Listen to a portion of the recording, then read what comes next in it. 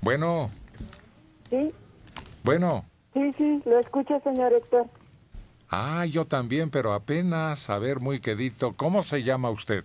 Yo me llamo Natalia Eloísa Guerrero Peralta. Natalia Eloísa Guerrero Peralta. Sí. A sus órdenes, ¿por qué nos llama hoy Eloísa? Ah, pues mire, porque, bueno, tengo unos cuñados que viven en el estado de Hidalgo. Allá los fui a visitar. Eh, mi cuñado se llama Lucio Liberato Márquez y su esposa se llama Enriqueta Tapia. Y ellos también los escuchan. Le comentaba a la señorita que desde que desde que estaba el programa de nuestro hogar lo escuchaban allá cuando yo iba. Y este y ayer fui a visitarlos, me llevó mi hija porque mi esposo también era de allá, de Hidalgo. Entonces este, llegamos que tenían todavía la estación con, con las canciones de, pues, de la estación. Y les dije, ay, comadre, ¿todavía escuchas estación? Sí, se me alegran todo el día, hasta la una. Entonces, pues somos sus serpientes, admiradores y los oímos.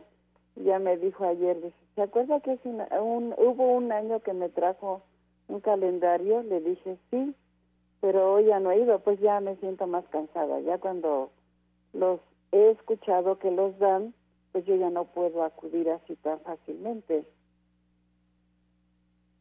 Y por eso este, les estoy hablando, para, porque les dije a ellos, les dije, mañana voy a hablar y los voy a felicitar por la radio, a ver si tengo suerte. Y mire qué suerte tengo porque me está escuchando usted. Natalia Eloísa, claro. ¿Y qué les podríamos dedicar a sus La amistades? canción del desgastado. Ah, caray. Bueno, pues va para allá. Nos gusta esa, también nos gusta la del nopalito, la de la bruja. Todas esas canciones nos gustan y pues la verdad ya vamos desgastándonos. Ya caminamos así como dice la canción, como jaivas. Bueno, Natalia Eloísa, si usted lo toma a broma como la mayor parte del auditorio, Claro que sí. qué bueno. Y así seguiremos. Gracias y vamos a complacerle con placer. Gracias, hasta luego. Bye. Buenos días.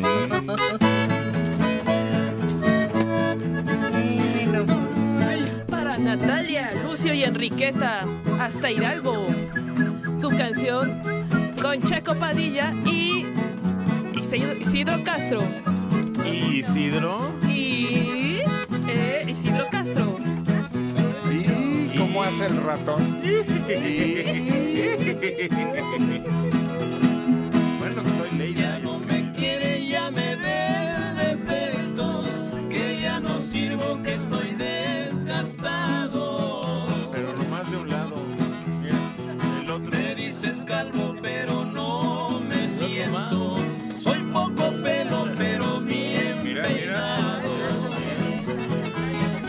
Todavía alcanza. Ya no me quieres porque ya no muerdo, que ya no sirvo para ser tu dueño. Porque el teclado se me está cayendo. Soy pocos dientes, pero bien risueño. Con las promesas.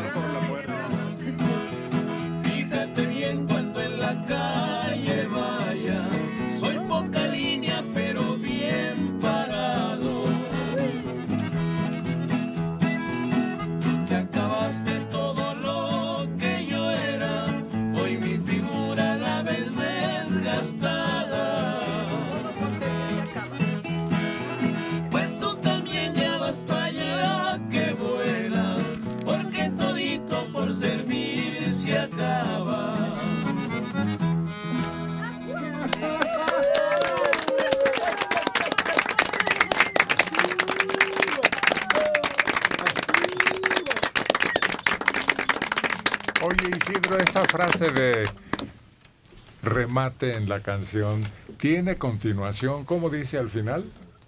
Tú te acabaste es todo lo que... No, lo que sigue. Mi figura la ves. Pues tú también ya vas para allá. No, lo que sigue. Más adelante, el remate final. Pues ese es. No. Porque todito por servicio acá. Eso. Pero tiene continuación. Esa frase. Por- Ah, sí. Todo por servir se acaba y acaba por no servir. Exactamente. Eso es lo doloroso. Pero pues ni modo, dicen que Radio Centro. la mejor caricatura de un ser humano, hombre o mujer, es el paso de los años hasta el límite. Nos volvemos de, de galanes o de bellísimos ejemplares femeninos en una caricatura grotesca. ¿De cuántos años? Ni modo. Ese es- y ojalá que tengamos la oportunidad de llegar a eso. Exacto, los que se quedan a la mitad. No. Sí. Y se mueren jóvenes y bellos. Y sin haber amado. bueno, eso está por dudarse. Pero sí, ¿Por qué esa canción? yo conocí entre las amistades de mis hermanos a alguien que decía eso, como lo dice pues el, el poeta, ¿no? Morir y joven, cuando todavía hay ánimo y deseos y anhelos por cumplir. Pero fíjate, cuando te mueres joven, te recuerdan los demás, ¿no? Pero ya cuando te mueres grande, pues ya se murieron todos los que te podían recordar, ¿no? Esa es otra tragedia. Ver a tu paso hacia la vejez cómo van llenándose tu panteón personal de amigos y parientes y gente a la que admiras mucho. Sí, se van quedando en el camino. Pues si duras muchos años, ese es como una... Bueno, dos- entonces vamos, solo por hoy, a disfrutar de este día, solo por hoy, como se repite también en varias piezas oratorias, ¿no? Mm, como se repite en una reunión a la que yo voy. Solo por hoy. Fíjate que ahorita que dijiste de que se van ocupando los panteones, ¿no? Y que nosotros, pues, no hay lugar para nosotros ya, ¿no?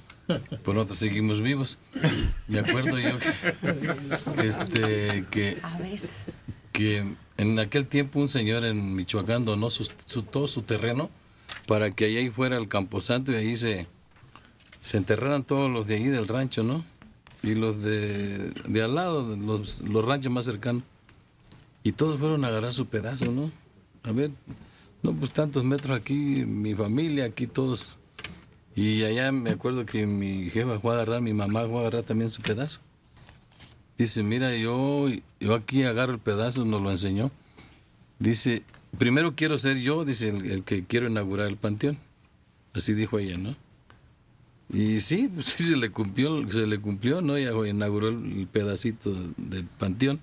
Fue la primera que cayó ahí. Pero yo por lo que veo ya está lleno el pedacito, ¿no? Que ella apartó para mí, ya no hay. ¿Cómo no? Ahora te vuelven polvo y cabeza. No, no, no, pero aquí llegaron paracaidistas de tumbas, sí, a ocupar lo que ya estaba destinado para un grupo familiar. Claro, pero esa es una ventaja, fíjate que antes había, en los tiempos de paz de este país, tumbas. Y entonces ibas y le llorabas, y le llevabas flores, y la limpiabas, y le llevabas cena. Pero ahora ni tumbas. No, pero ¿para qué quieres que los familiares viajen y dedican su tiempo si están tan ocupados? Mejor en el recuerdo, ¿no? En vez de hacerse presente en una tumba fría. Lo que digo es que cuando tienes la tumba hay la certeza de que tu pariente está ahí. Ah, Cuando pues estás eso sí. buscando 43 y no los hallas, ¿en dónde te sientas a llorar? Es en una narcofosa, ¿no? Ahí. Ay, caray. Oh, Son los cementerios más abundantes. ¿Cómo estuvo en Veracruz? ¿Cuántos llevan? Pues al reporte que tenemos ahorita hay de, de cinco más. Por aquí está el dato. Y, y Checo diciendo que un terrenito ya lleno. Mira acá. Pero es que, como dijo Héctor, es que nos lo invadieron. Si era para nosotros, pues llegó el sobrino, llegó el hermano de que es del tío y, y, pues, y- y realmente así como dijo el familiar, pues no, no se ha cumplido nada, ¿no? Y ya está lleno, digo, bueno, yo, pues hay que lo sigan ocupando. pues, yo no Jalapa. Veracruz, dice el reporte. Jalapa, Veracruz, los cuerpos sin vida y con huellas de tortura de cinco hombres no identificados fueron localizados ayer en el interior de una casa del municipio de Boca del Río, Veracruz, con lo que suman nueve ejecutados en 24 horas en la entidad.